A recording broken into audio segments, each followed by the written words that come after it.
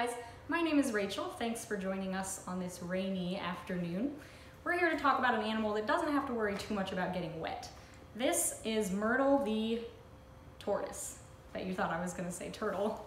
Myrtle is a desert tortoise, um, native to the United States. We find these guys places like um, Arizona, New Mexico, California, um, and kind of neighboring areas there. Now, being in the desert, Myrtle has to be specially adapted to survive in an environment that's very hot and doesn't have a lot of water.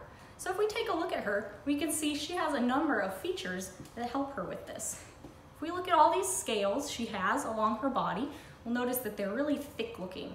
Those help her avoid um, really high temperatures, and they also help her body hold in moisture so she doesn't get all uh, dried out and dehydrated very easily.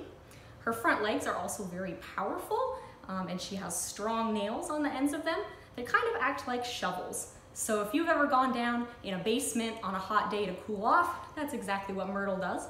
So during the summer months, these guys dig burrows down into the soil a couple feet where it's much cooler, and then they kind of ride out the warm temperatures until it's a little bit nicer for them to be outside.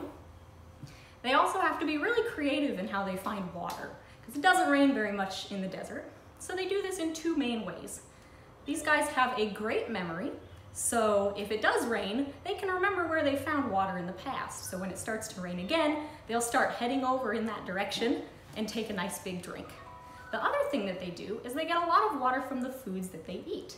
Now Myrtle is an herbivore, which means that she eats only plants. What kind of plants does she find in the desert?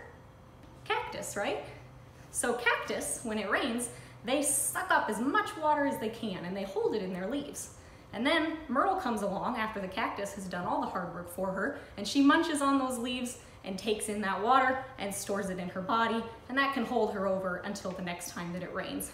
So while we're out here soggy, uh, Myrtle doesn't have anything to worry about. It sounds kind of nice right about now. Thanks for joining us, you guys. Stay dry out there.